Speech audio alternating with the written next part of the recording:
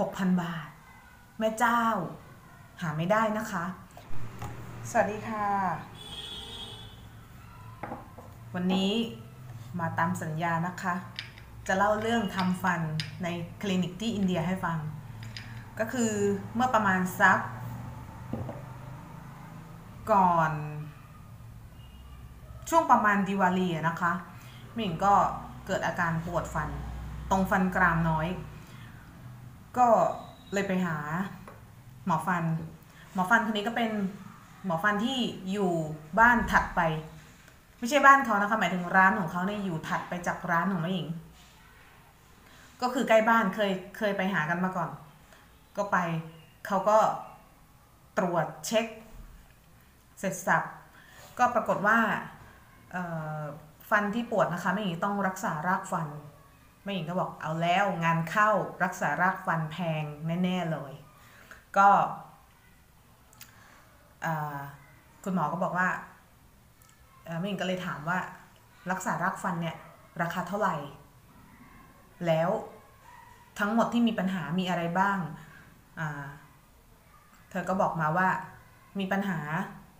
มีปัญหาอยู่แค่รักษารากฟัน แล้วก็มีฟันอันนึงที่มิ่งเคยอุดมาก่อนเมื่อประมาณ สมัยสาวๆ ทีนี้ไอตัว filling ก็คือตัวที่อุดฟันนะคะ ตะกั่วที่อุดฟันนะคะ มันหลุด มันหลุดแล้วตัวฟันอันนั้นไม่สามารถที่จะเก็บเอาไว้ได้ ก็เลยคงจะต้องถอนทิ้งนะคะ ก็โอเค จะมีสองงานนี้ แล้วก็อีกอันนึงก็ไหนๆก็ทำแล้วก็ขูดหินปูนไปด้วยซะเลย ก็เป็นสามสามงานนะคะ ก็ตกลงราคาที่รักษารากฟันเนี่ย ราคา ซี่ละ หมายถึงซี่นี้นะคะ แต่ละซี่จะไม่เท่ากันอย่างฟันกรามใหญ่เนี่ย ด้านในเลยเนี่ย มันมีหลายรากสามสี่รากเนี้ยเขาก็จะคิดแพงขึ้น แต่ว่าตัวที่หมิงเป็นเนี่ยเขาคิดราคาหกพันรูปี ไม่รวมครอบฟันนะคะ ครอบฟันต่างหากหกพันรูปี ต่อการรักษาหนึ่งซี่นะคะ แล้วก็ขูดหินปูนหนึ่งพันรูปี ถอนฟัน 1,000 รูปี ไม่รวมค่ายา ค่ายาก็คือพวกยาแก้ปวด ยาแก้อักเสบที่เราจะต้องกินนะคะ ระหว่างที่มีอาการปวด ก็เนี่ยค่ะ แล้วอะพูดถึงว่า ในเรื่องค่ารักษาโอเค มันถูก คือถูกนะ ที่ไทยมันไม่ได้นะคะ ราคาเนี้ยหกพันรูปีเนี่ย รักษารากฟันเนี่ย ถ้าคิดเป็นเงินไทยก็แค่ประมาณ 3,000 บาท ซึ่ง 3,000 บาทในไทยไม่มีใครทำรักษารากฟันเนาะก็อันนี้ทีนี้จะพูดถึงในเรื่องของอลักษณะความสะอาด ความเป็นคลินิก ก็คือเป็นคลินิกเหมือนบ้านเราเลย เดี๋ยวไม่หญิงมีรูปให้ดู ก็จะมีโต๊ะทำฟัน แล้วก็คุณหมอคนนี้เป็นผู้หญิงนะคะ เป็นหมอผู้หญิง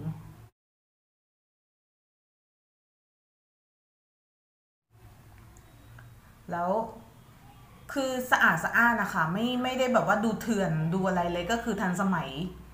แล้วคุณหมอเนี่ย มือเบามากมากพูดตรงๆเลยไม่ไม่เจ็บเลย ตั้งกาขูดหินปูน ยันรักษารากฟัน แต่ยังว่าเขาฉีดยาชาเนาะจะไปเจ็บอะไร แต่พูดถึงว่าหลังจากยาชาหมดก็ไม่ได้เจ็บก็คือปกติมากเลยนะคะ แล้วก็เบ็ดเสร็จอะ ไม่หญิงจ่ายไปเลย เสร็จสับเลยนะหนึ่งหมื่นสองพันรูปี ก็คือประมาณหกพันบาท ลงค่ายารวมอะไรเลยนะสามสามงานนี้เสร็จเลยนะ ก็คือหนึ่งหมื่นสองพันรูปีเท่านั้นหกพันบาท แม่เจ้า หาไม่ได้นะคะ แล้วตัวพิมพ์ฟันนี้คืออะไร ตัวพิมพ์ฟันนี้ก็คือ หลังจากที่รักษารากฟันแล้วใช่ไหมคะ ก็จะต้องใส่ครอบฟัน วลาใส่ครอบฟันอะ่ะเขาก็จะต้องพิมพ์ฟันเราทำเป็นโมเดลขึ้นมานะคะ เพื่อที่จะเอาไปทำครอบฟันให้ได้เหมือนฟันจริงที่สุด ให้มันเหมาะสมกับฟันเรามากที่สุดว่างั้นมันจะไปเหมือนจริงยังไงเนาะมันเป็นแค่ครอบฟันเนี่ยเขาก็พิมพ์ฟันไปทั้งปากเลยทำซี่เดียวพิมพ์ทั้งปากนะคะแม่งก็เลยขอเข้ามาบอกว่า น่ารักดี แล้วก็เวลาถอนอะไรก็ คือแบบเหมือนเหมือนบ้านเราเลยการบริการอะไรหลายแหล่ประมาณนั้น คือไม่ได้แบบว่า ถอนข้างถนน แบบข้างทางอะไรไม่ใช่นะคะ คือเราก็มีคลินิกเป็นปกติเลย แล้วราคาก็ย่อมเยาวดีด้วย ค่าจัดฟันไม่เห็นเคยถาม ถ้าเกิดว่าจะไปจัดฟันนะคะ เริ่มต้นที่สองหมื่นรูปีเท่านั้น ไม่ได้ว่ามีค่าอย่างอื่นแบบว่าเออเดี๋ยวต้องเพิ่มตรงนี้นะเดี๋ยวต้องเพิ่มตรงนี้เพิ่มนี้ก็คือเริ่มต้นที่สองหมื่นรูปีก็คือแล้วแต่เคสก็คือ เราเข้าไปดูอะเอาฟัน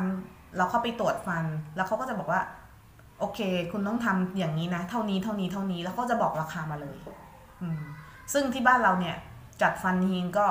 ห้าหกหมื่นเนาะเท่าที่มิงเคยเห็นนะ หมายถึงเอกชน เราไม่พูดถึงรัฐบาล เพราะว่าคลินิกอันนี้ก็เอกชนค่ะ เนาะใครอยาก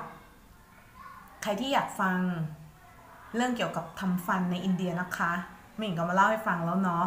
แบบสั้นๆ ง่าย ๆ สรุปใจความว่าทำอะไรบ้าง แล้วก็ราคาเท่าไหร่ คือไม่ต้องมาแบบสงสัย เอ๊ะเขาคุยเขาเคยมาเล่าให้ฟังว่าทำฟันในอินเดียเป็นอย่างนั้นเป็นอย่างนี้ นี่คือเรื่องจริงเป็นความจริงนะคะที่หมิงเล่าให้ฟัง ก็ทำมาเองกับตัว ใส่มาแล้วเนี่ยเพิ่งเสร็จสับเพิ่งถอนฟันไป คือทำอย่างอื่นให้เสร็จก่อนแล้วก็ถอนฟันอันสุดท้าย ประมาณนั้นนะคะ โอเคเนาะเล่าให้ฟังแล้วนะ แล้วพบกันค่ะ